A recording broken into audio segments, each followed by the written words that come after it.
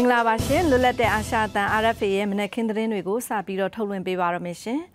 ကုလသမဂ္ဂရဲ့မြန်မာနိုင်ငံဆိုင်ရာလွတ်လပ်တဲ့စုံစမ်းစစ်ဆေးရေးရန်တရားအဖွဲ့ IMM ရဲ့ပထမဦးဆုံးအကြိမ်စုံစမ်းစစ်ဆေးရေးခီးစဉ်ဖြစ်ဘင်္ဂလားဒေ့ရှ်နိုင်ငံကိုနိုဝင်ဘာလ9ရက်နေ့ကနေ14ရက်နေ့အထိတွားရောက်ခဲ့ပြီးတော့မြန်မာနိုင်ငံကထွက်ပြေးလာတဲ့ဒုက္ခသည်တွေနဲ့တွေ့ဆုံခဲ့တယ်လို့ကုလသမဂ္ဂဒုက္ခသည်များမဟာမင်းကြီးယုံ UNHCR ကမနေ့ကသတင်းထုတ်ပြန်လိုက်ပါတယ် မစ္စတာနီကိုလတ်ကိုဂျန်ဦးဆောင်တဲ့ IMM ကိုယ်စားလှယ်အဖွဲ့ဟာကော့ဆက်ဇာဒေတာကိုတွားရောက်ပြီးတော့ဒုက္ခသည်တွေအရက်ဖက်လူမှုအဖွဲ့အစည်းတွေအရက်ဖက်ခေါင်းဆောင်တွေနဲ့တွေ့ဆုံခဲ့တာပါဒီအဖွဲ့ဟာမြန်မာနိုင်ငံမှာတဦးချင်းကျူးလွန်ခဲ့တဲ့ပြစ်မှုတွေအတွက်လိုအပ်တဲ့တပ်တွေအထောက်အထားတွေကိုစုဆောင်းသွားမှာဖြစ်ပြီးကျူးလွန်သူတွေကိုနိုင်ငံအဆင့်ဒေတာရင်းအဆင့်နဲ့နိုင်ငံတကာအဆင့်တရားရုံးတွေမှာရုံးတင်စစ်ဆေးတဲ့နေရာမှာတင်သွင်းသွားမှာဖြစ်တယ်လို့ကြေညာချက်မှာဖော်ပြထားပါတယ်။ IMM အဖွဲ့ကိုကုလသမဂ္ဂလူခွင့်ရေးကောင်စီက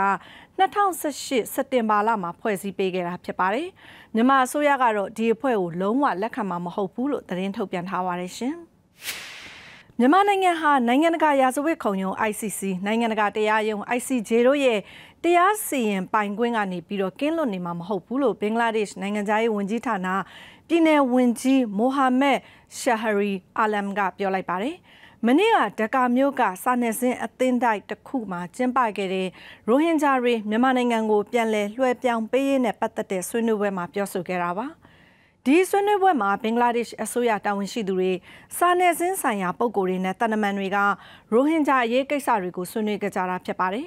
2019ခုနှစ်တုန်းကရခိုင်ပြည်နယ်မြောက်ပိုင်းကရိုဟင်ဂျာ9သိန်းကျော်ကိုမောင်းထုတ်ခံရတာလူမျိုးတုံးတပ်ဖြတ်ခဲ့တာရိုဟင်ဂျာတွေရဲ့ဖြစ်တည်ခွင့်ကိုချိန်ချောက်တာစတဲ့အချက်တွေနဲ့ OIC အစ္စလာမစ်နိုင်ငံများကိုစားဂမ်ဘီယာနိုင်ငံကနေပြီးတော့မြန်မာနိုင်ငံကို ICJ တရားရုံးမှာတရားစွဲထားပါတယ်။ မြန်မာနိုင်ငံကို ICC နဲ့ ICJ တို့မှာတရားစွဲဆိုထားပေမဲ့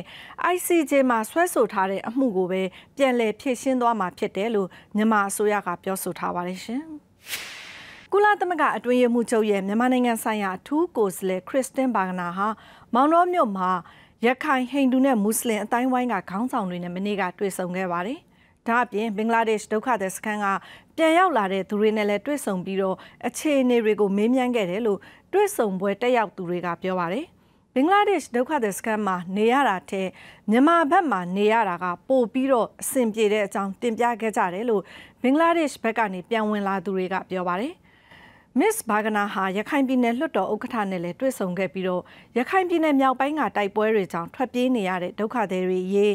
နှစ်ဖက်ပြစ်ခတ်ရစဲကိစ္စတွေကိုဆွေးနွေးခဲ့တယ်လို့သိရပါတယ်။ရခိုင်ပြည်နယ်မှာတိုက်ပွဲတွေရပ်ဖို့ဂျားခံဖွဲ့စည်းတစ်ခုလိုအပ်တဲ့အကြောင်းပြည်နယ်လွှတ်တော်ဒုဥက္ကဋ္ဌဦးမြတန်းကအကြံပြုဆွေးနွေးခဲ့တယ်လို့ပြောဆိုထားပါတယ်ရှင်။ ရခိုင်ပြည်နယ်ကစစ်ပွဲတွေအတွင်းမတရားဖမ်းဆီးခံရသူတွေအတွက်လွှတ်တော်အနေနဲ့ဒန်းတူရက်တီပေးဖို့လိုအပ်ပြီးတော့ကိုယ်စလဲနဲ့တာမန်ပြည်သူဆိုပြီးခွဲခြားရက်တီပေးတာမျိုးမလုပ်သင့်ဘူးလို့အမျိုးသားလွှတ်တော်ကိုယ်စလဲဒေါ်ထုမေကပြောလိုက်ပါတယ်။မနေ့ကကျင်းပတဲ့ပြည်ထောင်စုလွှတ်တော်အစည်းအဝေးမှာပြောဆိုခဲ့တာပါ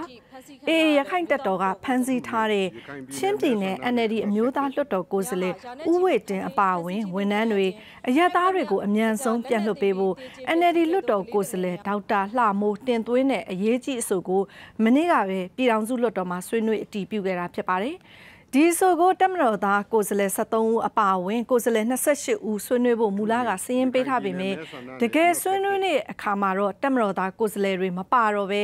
ရခိုင်ပြည်နယ်ကကိုယ်စားလှယ်တွေနဲ့ပြည်ထောင်စုကြံ့ခိုင်ရေးဖွံ့ဖြိုးရေးပါတီကကိုယ်စားလှယ်တဦးစုစုပေါင်း8ဦးသာဆွေးနွေးခဲ့ပါတယ်ဒီဆိုကိုထောက်ခံမဲ386မဲကန့်ကွက်မဲ9မဲဂျားနေမဲ3မဲနဲ့ပြည်ထောင်စုလွှတ်တော်ကအတီးပြုတ်ခဲ့ပေမဲ့ရခိုင်တိုင်းရင်းသားလွှတ်တော်ကိုယ်စားလှယ်တွေနဲ့ NLD ပါတီလွှတ်တော်ကိုယ်စားလှယ်တွေကြားထဲမှာအမြင်သဘောထားကွဲလွဲမှုတွေဖြစ်ခဲ့ပါတယ်ရှင်။မင်းပြမြို့နယ်ပန်းမြောင်းကျေးရွာမှာမနေ့မနက်ပိုင်းကတက်မတော်စစ်ကြောင်းကပြစ်ခတ်ခဲ့တဲ့အတွက်မျိုးသမီးတဦးကြီးစံရှက်ထိသွားတယ်လို့မိသားစုဝင်တွေက RFA ကိုပြောပါတယ်။ရွာလည်းဖျားတောင်ကုန်းမှာတက်မတော်ကတက်ဆွဲထားပြီးတော့လက်နက်ကြီးတွေနဲ့ပြစ်ခတ်တာတွေရှိတယ်လို့ပန်းမြောင်းရွာသားတွေကပြောပါတယ်။ အနောက်ပိုင်းတိုင်းစစ်ဌာနချုပ်တိုင်ဦးစီဗိုလ်မှူးကြီးဝင်းစော်ဦးကတော့မနေ့မနက်ကပန်းမြောင်းရွာဘက်ကိုတက်မတော်စစ်ကြောင်းလာတာမရှိဘူးလို့ပြောပါတယ်။အေးအဖွဲ့ကိုထိန်းချုပ်ခြင်းလို့ရွာလယ်မှာတက်ဆွဲထားတာလို့လည်းပြောဆိုထားပါတယ်။တက်မတော်သတင်းမှန်ပြန်ကြားရေးအဖွဲ့ကဗိုလ်မှူးချုပ်ဇော်မင်းထွန်းကို RFA ကမေးမြန်းရမှာတော့အေးအဖွဲ့ကရွာတွေထဲကနေမိုင်းထောင်တိုက်ခိုက်တာတွေရှိတဲ့အတွက်ရွာနီးပတ်ဝန်းကျင်တွေမှာတိုက်ပွဲတွေဖြစ်နေတာလို့ပြောပါရယ်ပြီးခဲ့တဲ့ဩဂတ်စ်လ24ရက်နေ့ကလည်း ပန်းမြောင်းရွာတွေကိုလက်နက်ကြီးကြားရောက်ပြီးတော့ရွာသား3ဦးသေဆုံးခဲ့ပါတယ်ရှင်။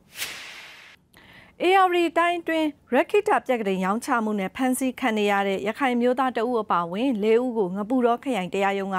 မနေ့ကထောင်ဒဏ်နှစ်နှစ်စီချမှတ်လိုက်ပါတယ်။ပြက်ကလေးထုတ်ဝေရောင်းချသူကိုသိန်းအောင်မြတ်နဲ့အဖော် ဖြစ်လိုက်ပါသွားသူကိုကောင်းမြတ်သူလမ်းပြတအူအငှားရင်မောင်တအူတို့ကိုထောင်ဒဏ်တွေချမှတ်ခဲ့တာဖြစ်ပြီးတော့အငှားရင်ကိုလည်းနိုင်ငံပိုင်ဖြစ်သိမ်းဆဲလိုက်တယ်လို့ရခိုင်မျိုးသားကွန်ရက်က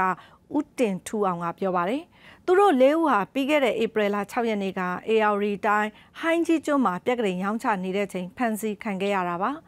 ပြက်ကလေးမှာရေးထားတဲ့စာတွေမှာတောင်းကျမ်းသူတွေသုံးတဲ့အတုံးနှုံးတွေပါနေတာကြောင့်ဆိုပြီးတော့တိုင်းရဲတပ်ဖွဲ့ကမတရားသင်းဆက်သွယ်မှုပုံမှန်ဆက်ခွန်တင်နဲ့ဖမ်းဆီးပြီးပသိမ်ကျင်းထောင်မှာထိမ့်သိမ်းခံနေရတာဖြစ်ပါတယ်ရှင်ရှမ်းပြည်မြောက်ပိုင်းလာရှုမြို့ကတအန်းចောင်းသားနဲ့လူငယ်အဖွဲ့ TSYU ရုံးနဲ့တအန်တိုင်းရင်းသားတွေနေထိုင်တဲ့ရက်ကွက်တွေကိုရဲတပ်ဖွဲ့နဲ့တပ်မတော်ပူးပေါင်းပြီးတော့ဝင်ရောက်စစ်ဆေးခဲ့တယ်လို့သိရပါတယ်။နိုဝင်ဘာလ16ရက်နေ့မနက်၄နာရီလောက်ကလာရှိုးမြို့ရက်ကွက်17မှာရှိတဲ့ TSYU ရုံးကိုဝင်ရောက်စစ်ဆေးခဲ့တာလို့တအန်ဥပဒေထောက်ကူပြုဖွဲ့ကပြောပါတယ်။အဲ့ဒီနေ့မနက်ပိုင်းမှာပဲလာရှိုးမြို့ရင်းကိုရှော့တိုက်ဒုံးတွေနဲ့ပြစ်ခတ်တိုက်ခိုက်မှုတွေဖြစ်ခဲ့ပြီးတော့နေ့လယ်ပိုင်းမှာ TSYU ရုံးကိုထပ်မံစစ်ဆေးခဲ့တယ်လို့ပြောပါတယ်။ ဒီကိစ္စနဲ့ပတ်သက်ပြီးတက်မတော်သတင်းမှန်ပြန်ကြားရေးအဖွဲ့ကို RFA ကဆက်သွယ်မင်းမြတ်မှုစ조사နေပါတယ်။ပြီးခဲ့တဲ့ဩဂတ်စ်လ18ရက်နေ့ကလည်းလာရှိုးမြို့နယ်ဟိုပိတ်ကျေးရွာဘက်ကနေလက်နက်ကြီးတွေနဲ့ပစ်ခတ်မှုကြောင့်အောင်သစ္စာစစ်မှုရန်ဟောင်ရက်ကွက်ကနေအိမ်တလုံးပျက်စီးပြီးတော့အမျိုးသမီးတဦးနဲ့ကလေးငယ်တဦးဒဏ်ရာရခဲ့ပါတယ်ရှင်။ဒီနေ့မနက်ခင်းသတင်းတွေကတော့ဒီလောက်ပါပဲရှင်။ RFA ကိုကြည့်ရှုနားဆင်ကြကြတဲ့အတွက်ကျေးဇူးတင်ပါတယ်။ကျမနန္ဒာချမ်းပါရှင်။